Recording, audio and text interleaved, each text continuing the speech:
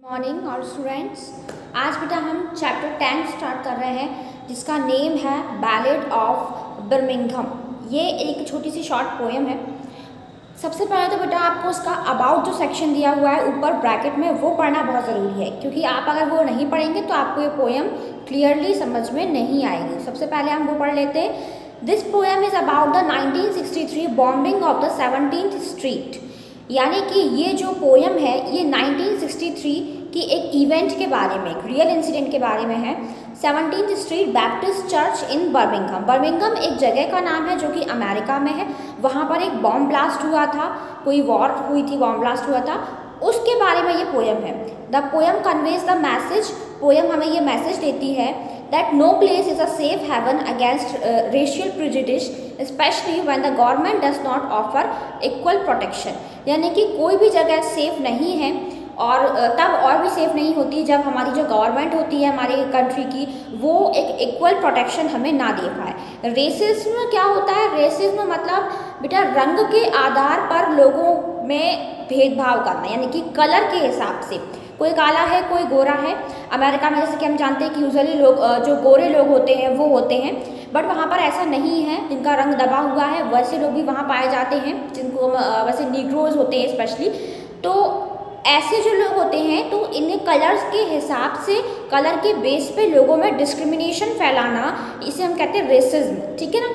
तो उसी को लेकर ये जो रेशियल प्रोजिडिश जो दिया हुआ है आपको, इसी के बारे में ये पोएम है okay mother dear may I go downtown instead of out to play and march the streets of Birmingham in a freedom march today एक छोटी बच्ची है जो अपनी माँ से कह रही है कि डियर मदर क्या आज मैं किसी गार्डन में खेलने की बजाय डाउन टाउन में जाऊँ, यानी कि शहर के कस्बे के एक जगह में जाऊँ और वहाँ पर मैं एक मार्च करूँ। मार्च जैसे बेटा आप लोगों ने देखा होगा, जो सैनिक लोग जो होते हैं, वो एक मार्च करते हैं, है ना? एक जुलूस जैसा निकालते हैं, उसको मार्च बोलते हैं। तो मैं भी मार्च करूँ बर्मिंगम की गलियों में इन फ्रीडम मार्च टूडे मार्च कैसा हो मेरा मार्च आज़ादी के लिए हो फ्रीडम के लिए हो।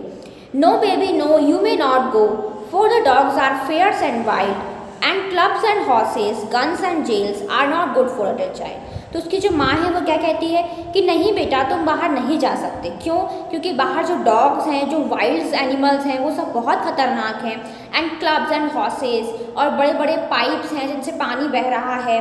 तो एक बॉन्ड का जो सीन होता है, वो अपनी बेटी को समझाने की कोशिश कर रही है और उससे ये सब कह रही है कि ये सब एक बच्चे के लिए अच्छा नहीं है।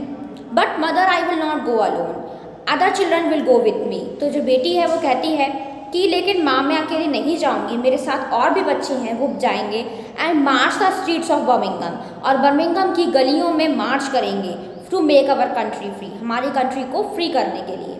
No baby no you may not go for I fear those guns will fire but you may go to church instead and sing in the children's school तो उसकी माँ कहती है, नहीं बेटा, मैं तुम्हें नहीं जाने दूँगी, क्योंकि मुझे डर है कि कहीं वो गन्स तुम पर फायर ना कर दें। इसके बजाय तुम्हें जाना चाहिए चर्च में और तुम्हें उन सब बच्चों के लिए प्रे करना चाहिए। She has combed and brushed her night dark hair यानी कि फिर उसकी जो माँ है, वो अपनी बच्ची के नाइट डार्क कलर के जो हेयर होते हैं, उनको कॉम करती है, उसके बालों को संवारती है and bath rose petal sweets और रोज़ की जो पंखुड़ियाँ होती हैं, उनसे उसको नहलाती है एंड ड्रॉन वाइट ग्लव उसको वाइट कलर के ग्लव्स पहनाती है on her small brown hands उसके ब्राउन हैंड्स पर and white shoes on her feet और उसके पैरों में वाइट कलर के शूज़ पहनाती है।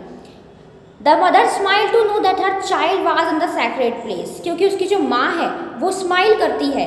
ये सोचकर कि उसकी जो बेटी है, उसका जो बच्चा है, वो एक सेक्रेट प्लेस पे जा रहा है, एक पवित्र स्थान पर जा रहा है। But that smile was the last smile लेकिन उसकी माँ की वो जो स्माइल होती है, वो लास्ट स्माइल होती है to come upon her face जो उसके फेस पर आती है। अब लास्ट स्माइल क्यों होती है? ये हमें लास्ट स्टैंडा में पता चलेगा।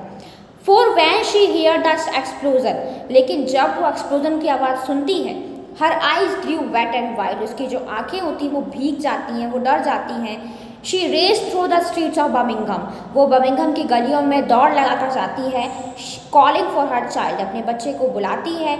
She clawed through bit of glass and brick then lifted out a shoe और फिर उन सब टुकड़ों में से जो वहाँ पर सामान पड़ा होता है, उनमें से वो एक शू उठाती है, एक जूता उठाती है।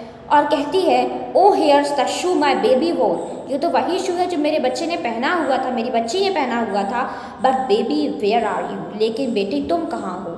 इसमें एक आयरॉनिकली स्टेटमेंट है कि जब वो बर्मिंगम की गलियों में अपने बच्चे को ढूँढने के लिए जाती है, क्योंकि वो एक बॉम्ब की आवाज़ सुनती है, और वहाँ उस पर उसकी बच्ची की जगह क्या मिलता है? सिर्फ़ उसका शू तो यहाँ पे आयरनिकली ये है बेटा कि वो आ, इन लाइन से ये डेपिक्शन दे रहे हैं कि उसकी बच्ची उस बॉम्ब में कहीं ना कहीं खो जाती है या घायल हो जाती है या शायद उसकी डेथ हो जाती है और उसे सिर्फ़ मिलता है उसका शू ये एक पोयम थी। इसके जो पोइट हैं डूडली रैंडल इन्होंने लिखी है। रेसिज्म पे कई सारी पोयम ये पोयम थी। इसके बेटा जो वर्ड मीनिंग और क्वेश्चन आंसर है ये मैं आपको पीडीएफ में सेंड करूँगी। यानी आप अपनी कॉपी में क्लीनली अच्छी हैंड राइटिंग में नोट करें ओके अब हम नेक्स्ट वीडियो में मिलेंगे. Till then bye bye thank you